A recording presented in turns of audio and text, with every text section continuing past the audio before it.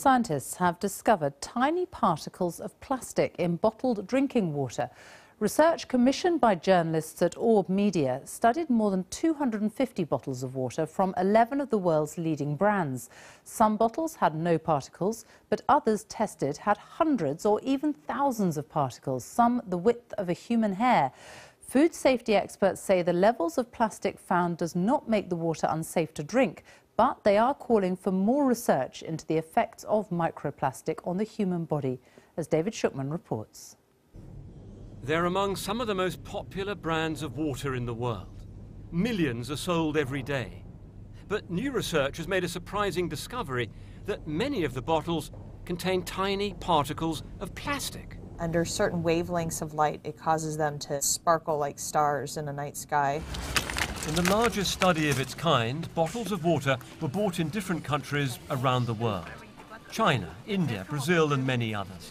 The project was coordinated by journalists at Orb Media, and they recorded each step of the process, from the shops to the courier companies, as the bottles were sent to a laboratory in New York State. Professor Sherri Mason is a chemist specializing in plastic and she tested more than 250 of the bottles. I'm going to take a specific amount of Nile Red dye. The dye, Nile Red, has a proven ability to stick to pieces of plastic. It was first used to detect plastic in seawater. So when the bottles were emptied through a filter, what was left was a mass of tiny particles. The next stage was then to analyze them under a microscope. The dye makes anything plastic fluoresce under a particular kind of light so the particles could be counted, and some were then examined to see what they were made of. The typical microplastics that we're finding in the bottled water, um, at the lower end of the screen you see a fiber. Well, this what looks like a little hair just there. Correct. Yeah. We see it in, in bottle after bottle, and we see it in brand after brand. Um, and, and part of that, too, is it's not about pointing fingers at particular brands. It's really showing that this is everywhere. So what exactly was found? A small minority of bottles had no plastic particles at all. But in this video, recorded with a special light and an orange lens, you can actually see pieces of plastic. And this close-up image of a filter shows hundreds of particles.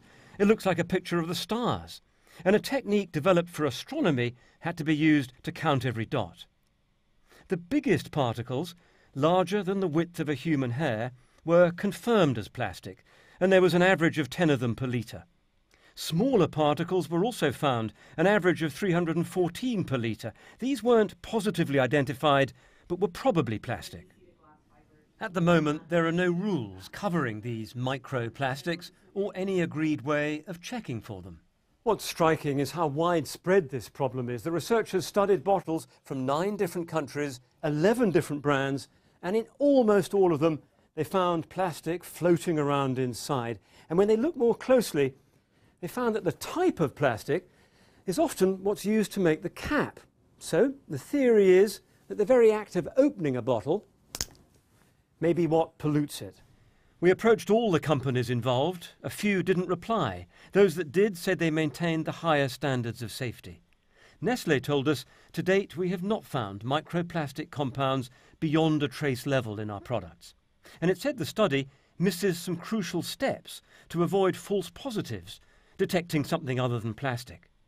Danone, which owns Evian, said it wouldn't comment on the study because the testing methodology is unclear. And it pointed out that for microplastics, there's no regulatory framework or scientific consensus on testing for them.